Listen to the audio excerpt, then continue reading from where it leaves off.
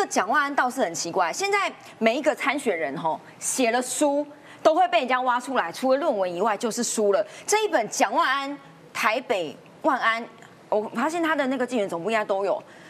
第四十六页被黄鹏孝找出了一个很奇怪的 make up，这个时间点有什么诡异的地方吗？先感谢鹏孝大哥，也感谢卓冠廷。因为呢，有两本书现在正当红，一个是呢蒋万安的《台北万安》，另外一个什么面试郭台铭嘛，我是没那么多美国时间或者花钱去看这个，但是感谢有彭孝哥跟卓冠廷开读书会帮大家导读，只要呢划重点，告诉大家争议在哪里就好了。昨天我们的重点啊，北一女一对齐对吧？之前呢还有一大堆啦，吃芒果等等的，但是呢为卓冠廷还有彭孝哥呢，宇超老师，呃这个。线上，待待会爱心也可以一一起刷一下。刚才我们刷过秀晶了哦，你呃彭笑哥告诉大家时间点怎么这么诡异？但愿一切都是啊，K 嘴假麻喇叭麻把吧，都是这么巧合，什么意思呢？一四年二月十八号，蒋孝严坐上习近平特色的家宴，开什么玩笑？我什么样的人才能够进上呃到家里吃家宴？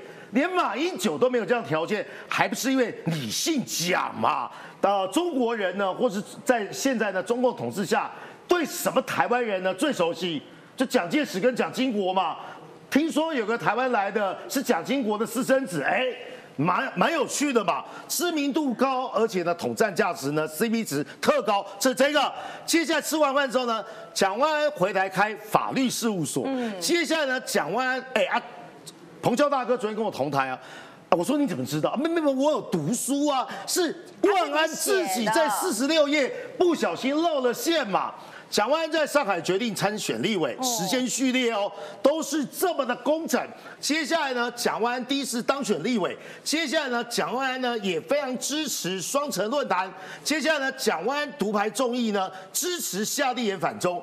这是一个归纳的逻辑，你可以说啦，黄鹏孝的归纳基本上有问题，但是你提出反证呢？为什么有这样的时间序列？所以彭孝大哥就讲，这种巧合哦，就想到我们所认识的 C S S 的这个资深顾问葛莱伊的警告，中国一定会无所不用其极，在台湾内部寻求潜在合作的对象。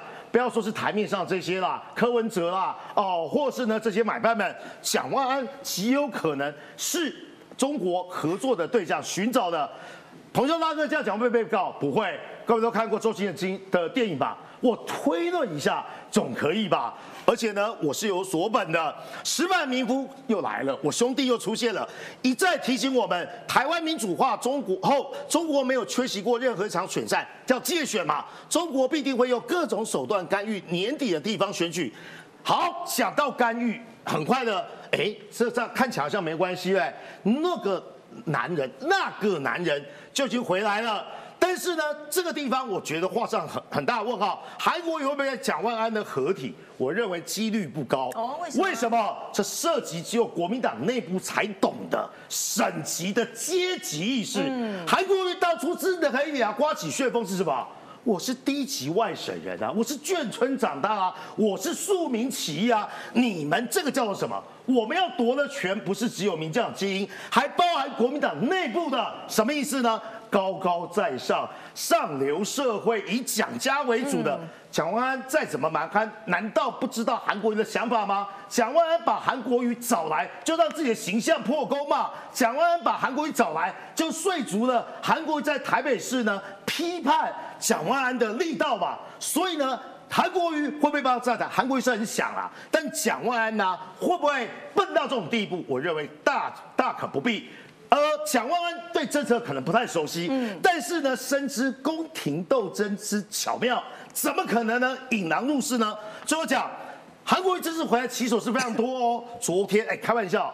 他在特定的选区有没有影响力？有的，哎，开玩笑，一瓶酒签个名，一坛酒签个名，二十万嘞，二十万哦。但是啊，昨天这些场合，我点名给大家听，高金素梅啦，洪秀柱啦，王宏威啦，这根本。就是同温层的握手会吧。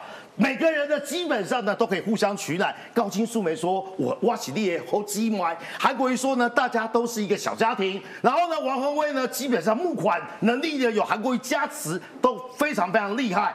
这是韩国瑜的起手式。待会啊，于将军会讲这个呢，桃园部分，最后讲，哎，要要跟柯志恩同台呢，有几个尴尬。柯志恩不知道在翻几次白眼，只要在讲。啊，又白又美的这个呃，这这个小腿，柯森可能又要翻白眼。第二个是啊，其实高雄的这些蓝绿议员啊，对韩国瑜有爱有恨。那些韩本议员呢，心中想的好了，好了，好了，你要回来救我，对不对？可是呢，有很多议员我点名啊，像邱于轩呐、白乔英啊、白文是候选人呐、啊宋立斌呐，这些人很多根本丧失搭韩国瑜的热潮，才不小心的吊车尾选上。韩国瑜基本上仇恨值在高雄一定最高啊！如果帮这些人站台，帮柯震站台，谁最高兴？